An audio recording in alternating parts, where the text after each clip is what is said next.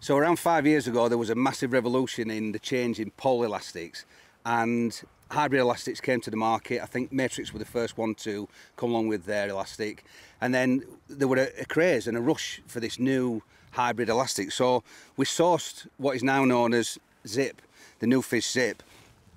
And hybrid elastics are very, very different in the fact that traditionally you had solid elastics, just a normal latex elastic in a single core, and then the hollow elastics, which were brought out to the market and soon gained a lot of following because they were more durable and they had a higher knot strength and they, they lasted longer. The trouble was that they were very expensive.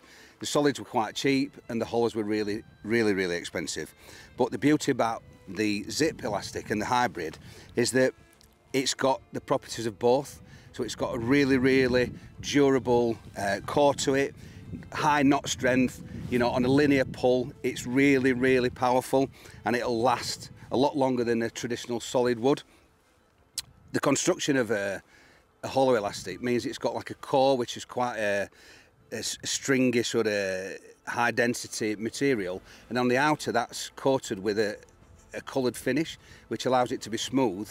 Well the beauty of the hybrid is the fact that it's a combination of both but all in one solid core which means that single core is a lot easier to manufacture and therefore a lower price.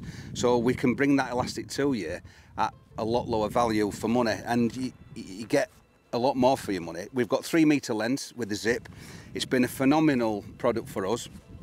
I think in the first 18 months we'd sold enough to go around the centre of the globe at uh, once, which has been it's been crazy. It comes in seven sizes, which is four to six, six to eight, eight to 10, 10 to 12, so on and so forth, right the way through to a 16 to 18. The 4 to 6, 6 pink is a brilliant silverfish elastic. It's great for winter fishing.